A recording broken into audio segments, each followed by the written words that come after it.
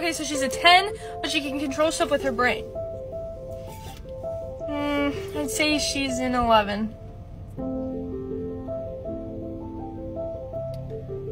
Or L for short.